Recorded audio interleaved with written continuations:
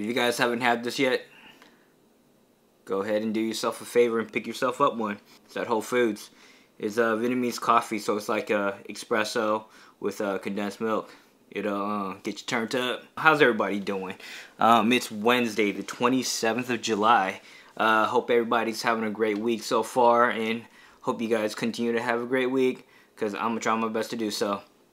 But anyways, uh, so we're talking about sneakers. I mean, um, the Jordan Metallic 5s are just released. They're still sitting on shelves. The Ultra Boost, I've seen them sitting on shelves. Uh, I mean, is it is it the price point? I mean, is it a little bit too high for the Jordans at 220 bucks? Um, I think so. I mean, it's it's a little bit too much. I mean, I don't think people are wanting to spend that kind of money these days. Um, the Ultra Boost at 180 bucks. Um, for me, I, I think it's worth it just because it's um it's a wearable everyday shoe and super comfortable. So you guys are paying for you know great technology and the um you know the way it feels. You know, it does affect your life on a daily basis. So, uh, but for the Jordan fives, I mean. Yeah, I mean it has the Nike and the swoosh in the back, so I mean they're charging a little extra for that.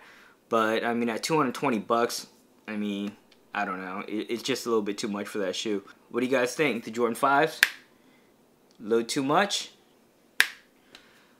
Or, I don't know, people just don't want them. Who knows? How about the Ultra Boost?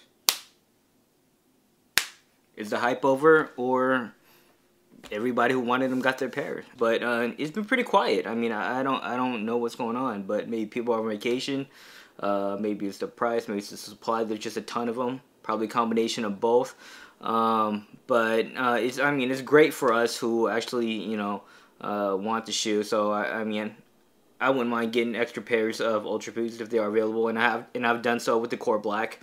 At the end of the day, I mean, if you guys really want the shoe, if we want the shoe, we should be able to pick them up. Uh, in an ideal world, really, if you know there's uh, a right amount of supply and demand, the company should be making all that money and um, that I mean it'll definitely do away with the resale market which is fine with me because you know I pretty much have to pay resale for all my sneakers. I really don't have time during my work week to um, pick up the sneakers or stand in line or whatever. So next week I'll probably be doing another pickup video and just show you guys what I picked up within the last like you know couple weeks or so that I haven't showed you guys already.